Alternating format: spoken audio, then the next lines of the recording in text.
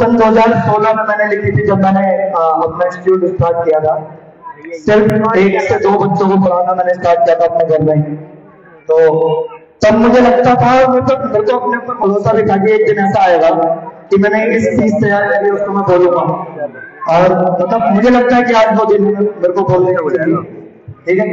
तो कुछ ऐसा है, धूप देखी है देखी है, तिरस्कार करती है आके धूप देखी है देखी है तिरस्कार करती है आके। कदमों से चल चलकर रास्तों को नाम बदलते देखा है। कदमों से चल चलकर रास्तों को नाम बदलते देखा है। अपने टूटे हुए स्वाभिमान के साथ खुद को काम बदलते देखा है। अपने टूटे हुए स्वाभिमान के साथ खुद को काम बदलते देखा है।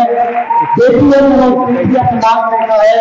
न चाहते हुए भी माँ बाप पर झुकता हुआ आत्मसम्मान देखा है। न चाहते हुए भी माँ बाप का झुकता हुआ आत्मसम्मान देखा है। सपनों को टूटते देखा है, अपनों को छूटते देखा है। कई सारे मेरे अपने में में सपनों को टूटते देखा है, अपनों को छूटते देखा है। हालाँकि भी तुमसे ज़मीन पार कर निकला हो। बेफिक्र रहिए, मैं इस शौरत की धूप में नहीं जलूँगा। बेफिक्र रहिए मैं इस शौरत की धूप में नहीं चलूँगा आप बस साथ बनाए रखें अभी मैं लंबा चलूँगी।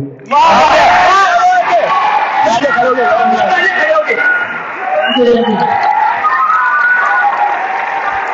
सभी खड़े हो जाए सही